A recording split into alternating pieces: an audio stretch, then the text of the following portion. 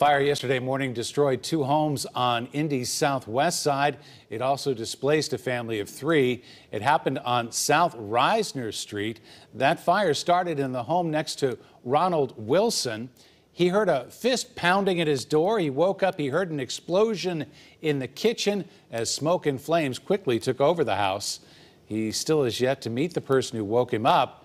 He's still trying to figure out what to do next after he and his family lost almost everything. We have nothing.